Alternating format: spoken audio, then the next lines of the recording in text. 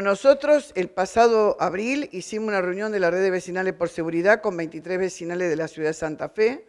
Hicimos eh, todo un resumen de lo que estaba pidiendo en cada barrio en particular,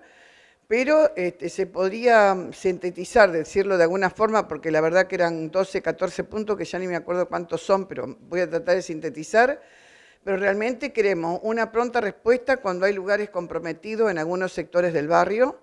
eh, como por ejemplo está complicado Escarafía, estuvo muy complicado Mariano Comas cuando estábamos haciendo la reunión, o sea que haya una pronta respuesta por parte del sector policial, o sea el Ministerio de Seguridad. Otro tema que también estuvimos hablando con la gente de, mm, lo que es este, la vecinal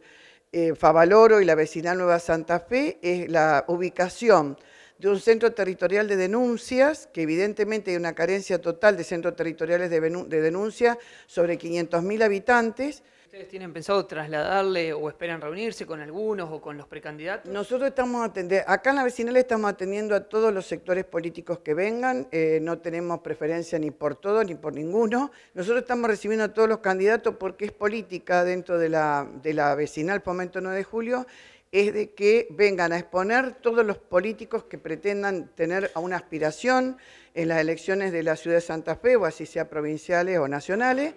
y nuestras puertas están abiertas de cualquier sector político que vengan. ¿Qué sensación tienen de que haya por ahí varios comunicadores sociales que muchas veces están en contacto con ustedes como precandidatos ahora? Me parece perfecto, yo creo que, hay que haber, tiene que haber un remozamiento de, cargos y de posturas,